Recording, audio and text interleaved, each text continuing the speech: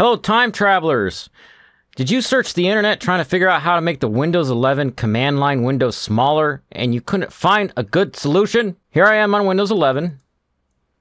This is how big it wants to open. This is how big I figured out how to make it to open. And I'm also going to show you how to open it so that you have your saved batch files open that size too. Cause if you Google it, it's so frustrating and you're reading threads on Reddit or, or Superuser or freaking Microsoft blogosphere thingy, what's it? They tell you to change the rows and columns or the font. But that's not how you fix it. This is my look of disapproval.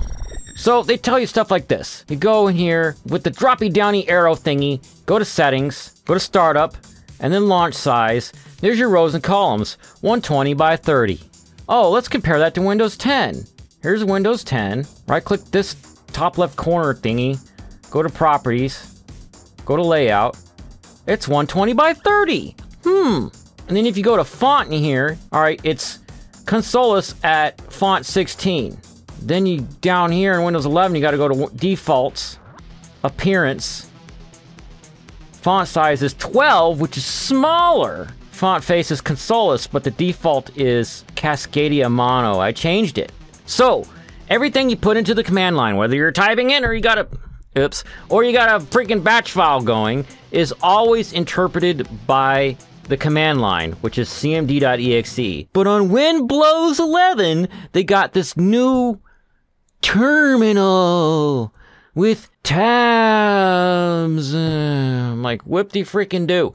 Tabs, I guess, you can make my desktop experience less cluttered, but you could have made it the same freaking size. And how I encountered this problem is that I'm always using batch file menu things because I put commonly used tasks into them so I don't have to go click through a bunch of things. Like here, here's my editing rig. And I have my default color set to red, who cares, whatever. CDC, video, and then MKV, whatever. This is a batch file that I basically use to remux my files from MKV into MP4 before I start editing them. And then, like, there's this menu down here for changing GIFs into MP4 so it doesn't crash my video editor. And this is for removing rotation information in case when I'm filming, my phone rotates it to portrait.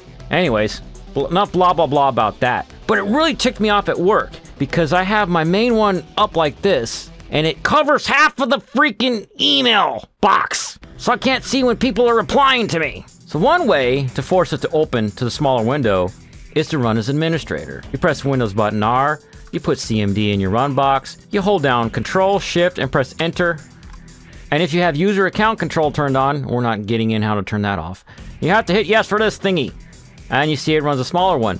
But you run yourself at risk in case you accidentally type something you didn't want to type and it wipes something out. You don't want that. So instead, when you hit Windows button R, you type conhost. And you get the normal one.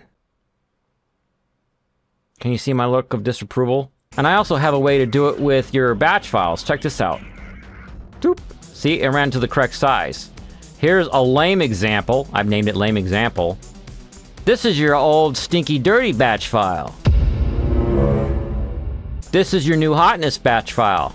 I drive the new hotness. Old and busted, new hotness. Which actually does it the old way, so it's the old hotness. Old busted hotness. But just to give you an idea, if you don't know about a menu-based batch file, what it does is, say I press 1, because I've already configured and set it up. Shut up, Edge! I didn't want that to open in Edge! What? It took over as my default browser. Shut up! Jiminy Christmas, Edge. Why do you gotta be so annoying? There's my YouTube channel. And there's my old banner, which I gotta freaking fix one of these days. And there's a video where me and my son are, are playing old men that keep saying, Like us, sir! Really funny, you need to watch that. And there's an option so I can see my IP config. And there's where I can ping Google. Obviously, these are not normal things I'd put in a batch file. But I'm going to show you how to get an example of this batch file from my GitHub. Go to my GitHub, which I have linked in the descripto whatever thingy below the video screen, you know, that thing. And you hit code, download zip. Obviously, I haven't changed my settings on this browser, so I just downloaded it to my downloads folder auto-magically. And if you trust a download that's got scripts in that, you want to right click on the file first and hit properties and then check the unblock box and then hit OK. Otherwise, it won't let you run it afterwards. If you're not sure if you trust this batch file, you can literally read it in here. Like, like that. How it works is this part right here. And if you, if you want to just copy paste this part into your own batch file, that's fine. You don't have to download my batch file. Basically, it looks for a flag file and then skips this section if the flag file exists. If it doesn't, it creates the flag file and then runs itself using conhost. Magic! Then after it's done, it deletes the flag file. And if you want to learn how to make a menu-based batch file, this is a good place to start. You basically just echo out your options. You ask the user for a prompt. You checked what they typed, and if the user entered something that works, it goes to a flag that's down here. Like there's do ipconfig, there's do ipconfig. And if it passes these three or however many you have and they haven't typed uh, one of the adequate choices yet, you check if they want to exit and then tell them to go to end of line, which is the exit, which is like to exit the script. And if it passes that, then you say their choice is invalid and you go back to the flag which defines the menu you are in. And that's just a quick rundown, and I hope I didn't make anybody's eyes water over while saying that extra stuff. But anyways, that's that. The two ways to actually get your command line to run properly are Windows button R and doing conhost. Or for your batch files, you have to uh, show more options in Windows 11. Give me this menu back. I hate that. You have to put all this stuff at the beginning. And if you do that in your own batch files, I recommend you rename this part to be the name of your batch file underscore booted. And you rename it there, there, and there. And if you go to the license on my GitHub, I had ChatGPT help me write this. And I wish freaking GitHub didn't have such a skinny box right now so I could show you this. But I basically gave you the permission to alter it, modify it, and distribute it as you see fit. I may not give this much leeway on other stuff that I make, but definitely this one because I want the world to have a better command line window. And that's it for this video. If you like this video, please click like on it.